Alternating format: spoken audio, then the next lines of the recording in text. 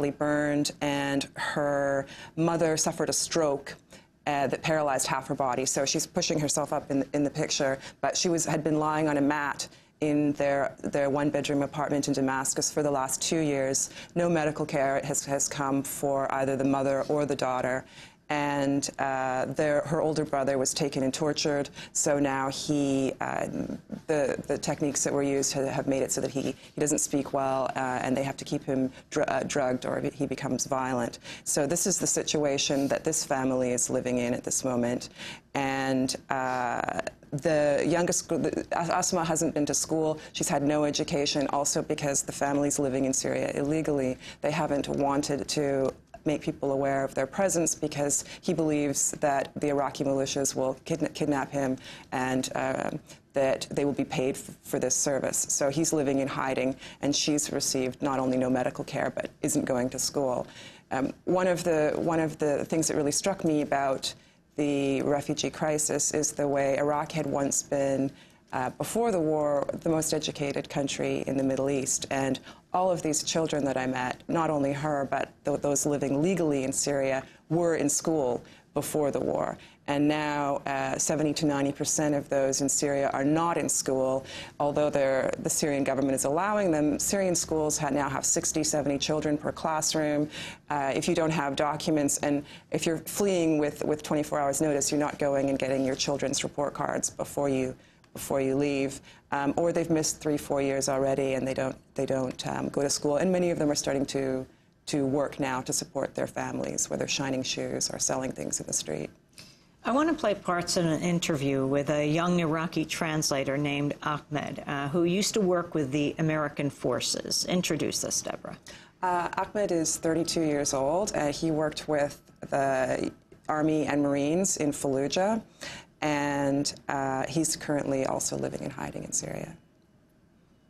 I get threat from unknown people. They came to my families asking, it, uh, they just ask them, uh, you have a guy working with the USA Cultural Forces, you have to tell him to stop this job, to stop this uh, work, because it is very dangerous for him. Yeah, that's, that's, what, I, that's what made me quit. Uh, actually, I was very afraid as my as my as my work as translator. It is very dangerous to work as translator, and especially if, uh, the especially if the guys or the people uh, around you, I mean your relatives or your friends, everybody know that I'm translator. That will be very dangerous. Two days ago, they, I get a, a phone about my friend. He was working translator before in 2004, but he quit from a long time. And uh, they told me he was killed in front his house, about 20 meters from his house, he was killed. And this is very, very sad thing happened to me. I, I don't ask about, uh, I don't insist to go to US or uh, I don't choose uh, specifically a specific country. I just want to be in safe place and living in a peace. That's all what I need. No more else.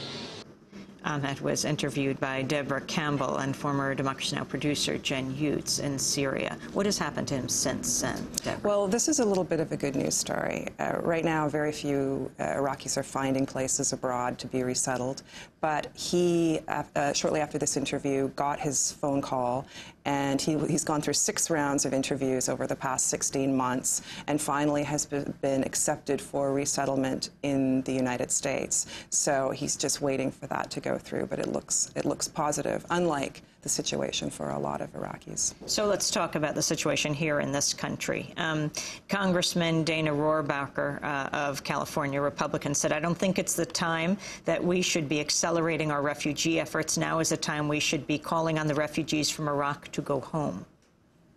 Well, I think we've seen the, the, clips from Basra and we know what home looks like. The majority of Iraqis said to me that they can never go home. Even the, there were less than 50,000 that went home uh, at the end of last year during this great story about how uh, Iraqis were going home to peace and stability. Even that small number of people that went back uh, said that they did so because they'd run out of money and because Syria had, had, had stopped renewing their, their residency permits.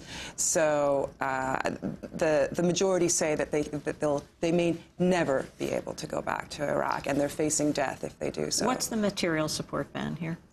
Well, after 9/11, the uh, this is legislation that was expanded after 9/11, such that those refugees that are um, going for interviews to be resettled and they you know they have claims and so forth if uh, any the material support ban essentially means that any refugee that has assisted terrorists is denied uh, entry into the United States. That makes a lot of sense. How it's being interpreted, however, is that any refugee that has paid ransom to a kidnapper who's on the list of terrorist organizations is considered then to have materially supported terrorists. And you won't meet very many Iraqis who haven't had a family member or friend kidnapped that they've had to ransom in some way. Now, the material support ban is so broadly interpreted that one uh, senior U United Nations official told me that even if a woman has been kidnapped and sexually assaulted by one of these groups and she's forced to cook for them, this is considered giving material support to terrorists. This point, um, for Iraqi refugees, they're barred from going to, blocked from going to Syria. Jordan, and where else? Everywhere else. There is no exit. Uh, however, in January, there was a one report that 1,200 a day were still leaving Iraq from Syria. How they're doing so, I, am really not sure. Whether they're find, they're finding their own way in at this point. You're seeing, uh, as, as, as one diplomat said to me, mortar finds cracks to flow into. When people are desperate, they, Iraqis will do anything to get out. Well, Deborah Campbell, I want to thank you very much for being with us. Deborah Campbell, independent journalist and author, uh, spent two months embedded with Iraqi refugees in Syria, wrote a piece in the latest Harper's Magazine called Exodus Where Will Iraq Go Next? This is Democracy Now!, democracynow.org, The War and Peace Report. We're broadcasting on over 650 stations, on Pacifica and NPR, Low Power FM, college and community radio stations, on public access TV and PBS TV stations, and both TV satellite networks, Dish Network, Channel 9415, Free Speech TV, 9410 Link TV, and on DirecTV, Channel 375. And we're video and audio podcasting at democracynow.org. Our headlines are also available each day in Spanish and every radio station can take them as over 150 are. The transcript is also there in Spanish. As we turn now to well, today is the birthday of Cesar Chavez, the legendary labor activist, civil rights leader, and founder of the first successful farm workers union. He would have been 81 years old today. Events are planned across the country to honor his life